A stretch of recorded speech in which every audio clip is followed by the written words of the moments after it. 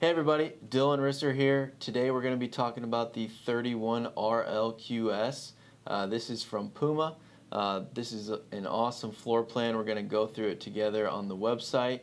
And what you're going to do first is we're going to go to the Forest River website here. We will scroll down, click Palomino.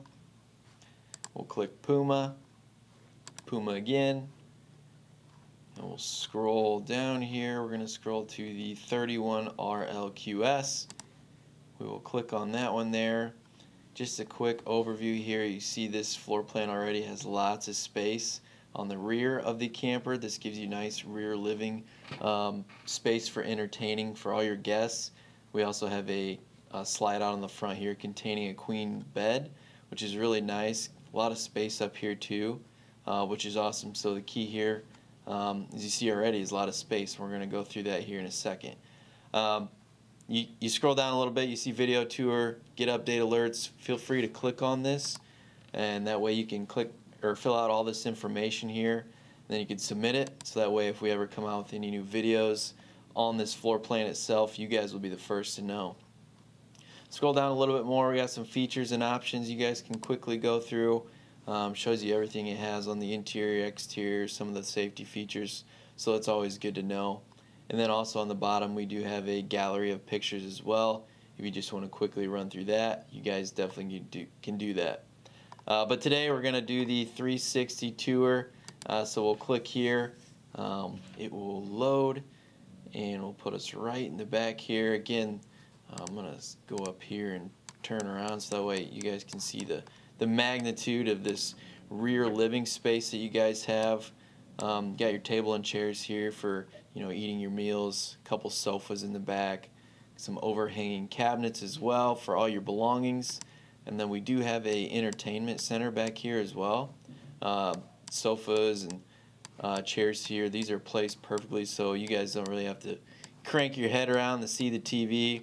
Got a fireplace down here as well for those cold nights and then a pantry too. Very large pantry.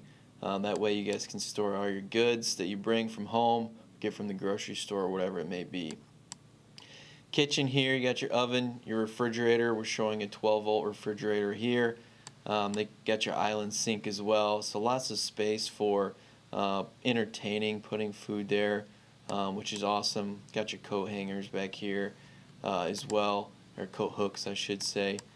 We're going to go up to the bathroom now. Um, just take a look at that. Pretty good sized bathroom here. Very good sized shower with a glass door.